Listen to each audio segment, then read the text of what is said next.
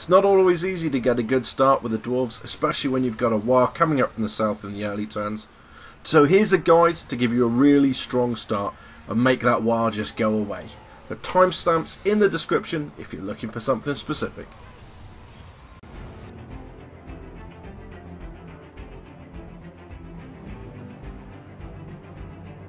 For this video I'll show the starting area for Thorgrim Grudgebearer and Grombrindal, Although all the tips can be carried over to Ungrim Iron Fist, I feel like Belegar's starting campaign is just so different with the objectives he has set for him.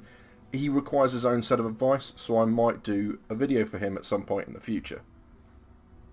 Now between the other Dwarf Lords it really is down to personal preference and who you want to be fighting early on in the game.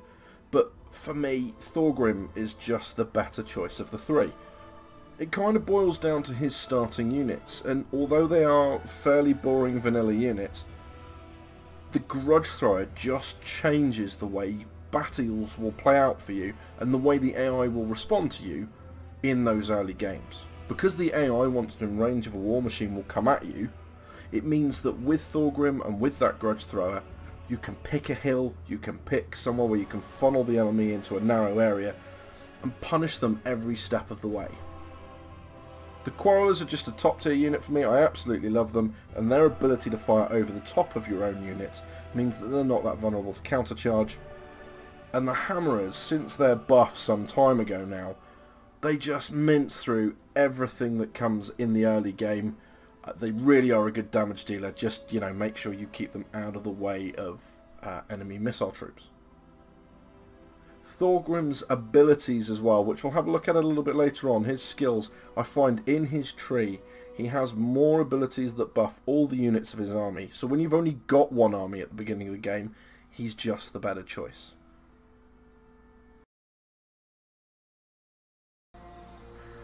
It's important to nail your build order in the first few turns. The Silver Road province with Karaz-a-Karak basically needs to become like a fortress. It needs to do a whole bunch of things for you. It needs to give you a really good gold income per turn, despite the fact we're going to be increasing Thorgrim's army.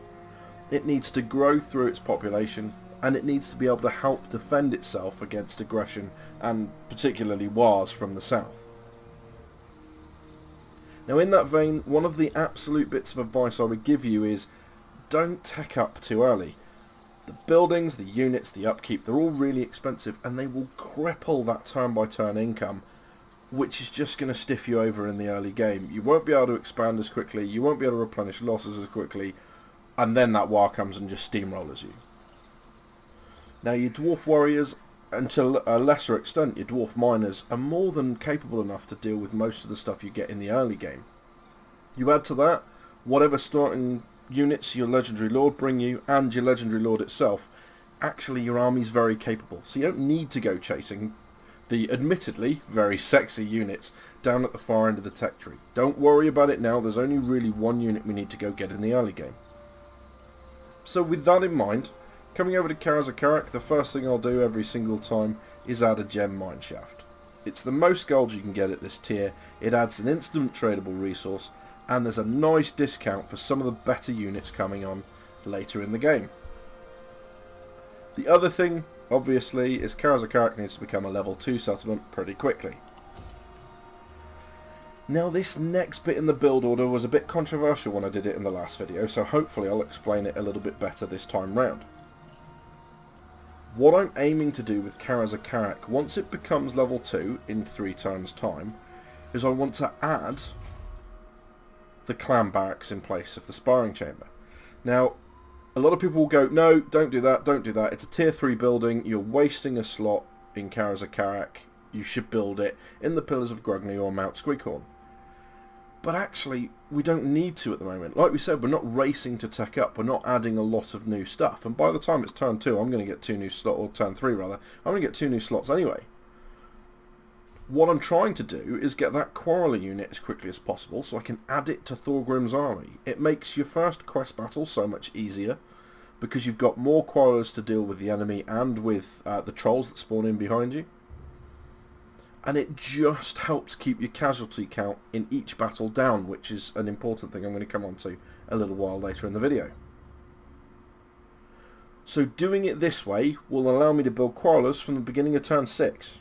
If I try and do it at one of the other settlements, because I've got to A, capture the settlement, B, wait for the population to upgrade that settlement, and then C, you know, build the prerequisite buildings, I can't get Quarrelers building before turn 10.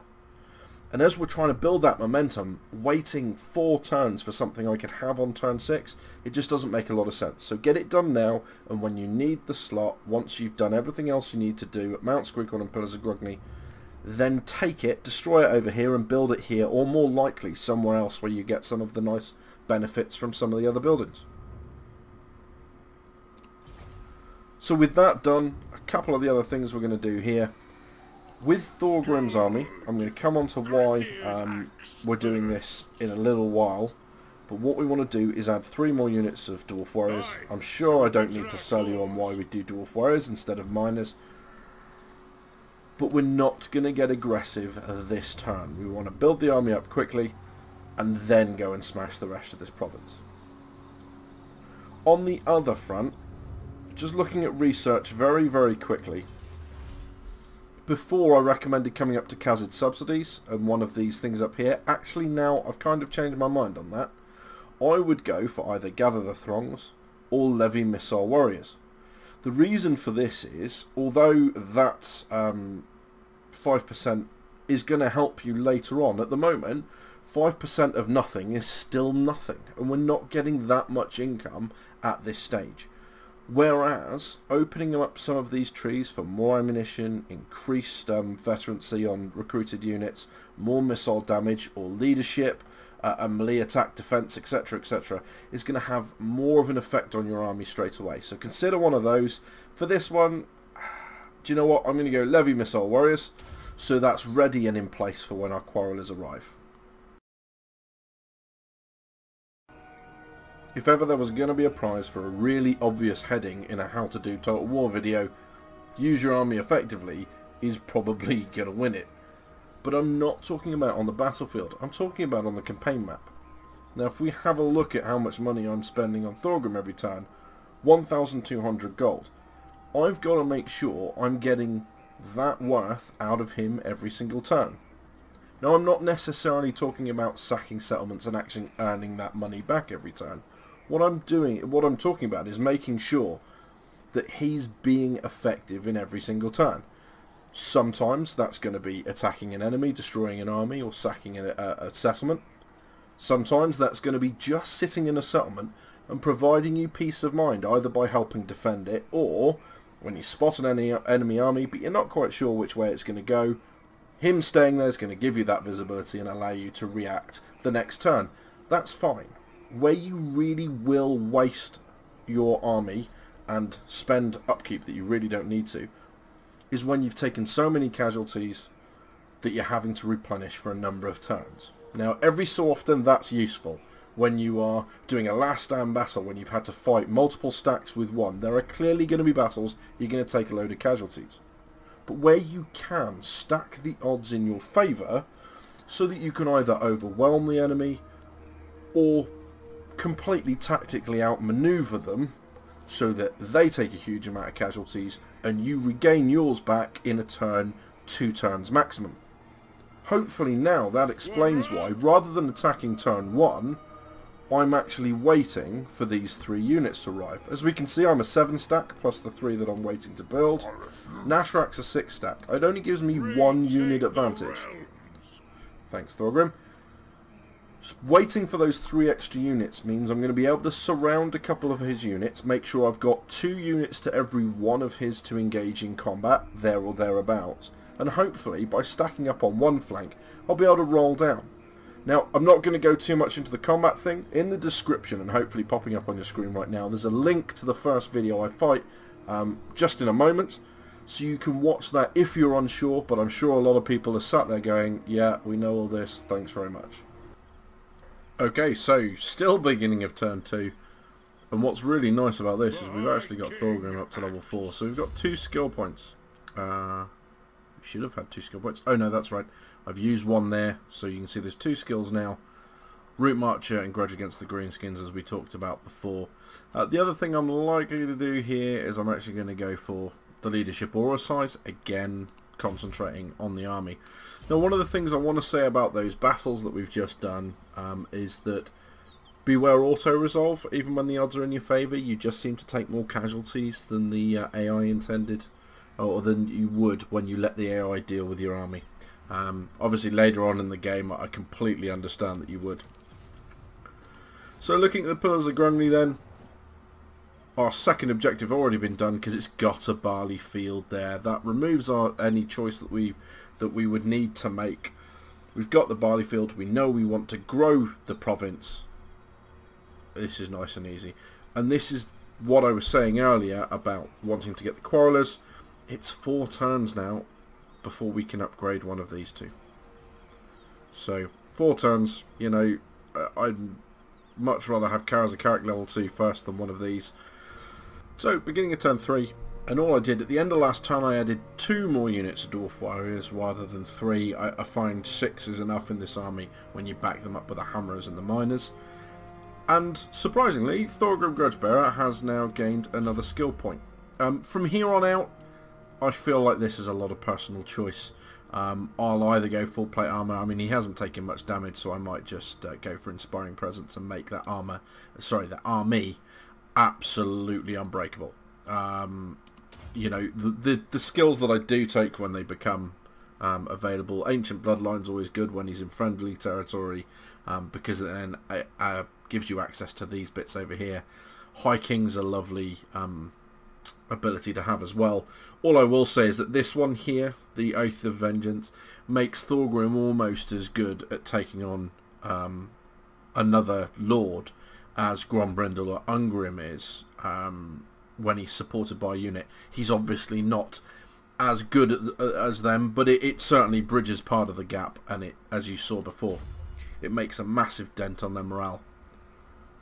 Um, commandment, because I am playing on hard, obviously, I've got that difficulty level thing going on, so I just tend to go for the um, public order and the untainted bit, just for the time being. Once this province is stabilised, that's that. The only other thing we do need to change is obviously I'm going to get rid of the sparring chamber. Uh, next turn, what I'll go for is the trinket maker. After that, I'm looking to get both of the other buildings in this province, um, Mount Squighorn and Pillars of Grungni, up to level 2 themselves. And what I'll look to add there with them, uh, and one of them uh, is a uh, refractory. It's another tradable resource improves your public order. I'll also look to start going to watch rooms for both of them. Um, and there's a good reason for that. I mean, if you put your refractory into Karaz-a-Karak, you can get a watch room in both. And it means that you've then got six units from the garrison with a uh, war machine as well. You also get another six units from the outpost. That's 12 units to defend against a Waaagh which brings us nicely on to Beware the Waaagh. Uh, you're going to have to deal with one sooner or later, and with the AI sometimes it is sooner rather than later.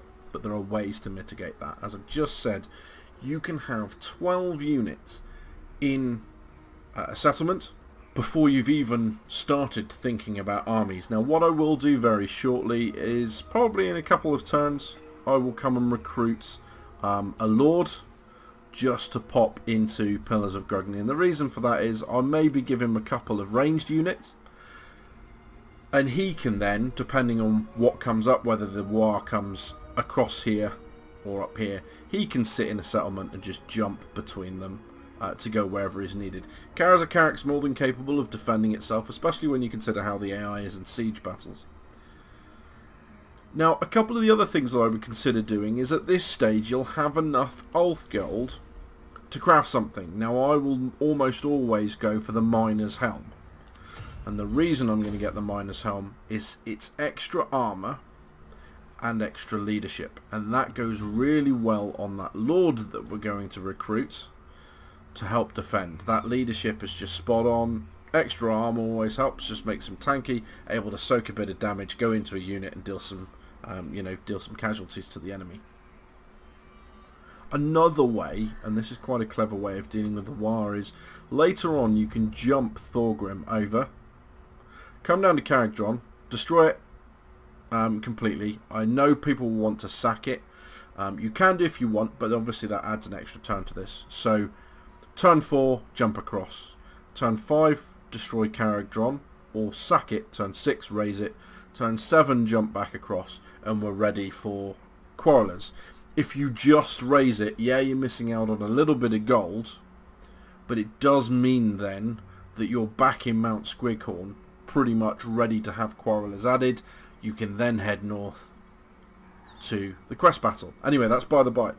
The reason you raise it is because the AI will often go after it to recolonize. Now, the Waaagh army obviously is going to go around and attack stuff. But if the 20 stack say Grimgor Ironhide, that spawn the Waaagh goes after Kharadron instead. What he's going to do is he's going to colonise it, lose half his army to colonising, and he's either going to have to rebuild his army, or you're taking on an army at half strength. So make sure every so often you just raise something to the south. Give them some sort of sacrificial uh, settlement to go afterward, uh, go after, and, and that'll be great next couple of turns, what I'm going to look forward to do is is head up north, take Mount Gunbad, definitely. You really want to get up there by about turn 10. So, quest battle first, Mount Gunbad afterwards. Bear in mind you're going to have to seize it, so it's going to, or siege it rather. So Thorgrim's going to be away from your home province for a little while, and this is where you're a little bit vulnerable. But what I'm aiming to do is take Mount Gunbad, Possibly Grom, Grom Peak, although, to be honest, Zhufbar are pretty good at taking that before you get there. And if Ungrim does his job and destroys Nashrak's lair, what you'll have ended up with is trade with dwarves to the north. A whole bunch of extra income, and then you know that at the time being you can focus all of your army, all of your strength, all of your military might south. The other reason you want to take Mount Gunbad, and unfortunately um, I don't have it to show you here, is later on in the game when it gets to level 3 or level 4, there's a bright stone mine in there. It's absolutely something you want to go for. Getting the Brightstone mine will give you 1500 gold per ton and a ridiculous plus 6 veterancy for your artillery units. It's just ridiculous. It's really good. So my build order I would go population growth, then public order for Mount Gunbad, and then I'd add whatever it is you want to go for after that. Obviously as long as these settlements up here are secure and in dwarf hands. Just two quick things on diplomacy. Firstly, make sure you make friends with as many races as you can. Um, only the good ones, obviously. Um, the more friends you have, the more trade agreements you have, the more trade agreements you have, the more money you have. Simples. Part of that, Greybeard's Prospectors, make sure you get that non-aggression pact on turn 1. I found that for some reason, if you try doing that from turn 2 onwards, they're not interested, so get that nailed on your first turn.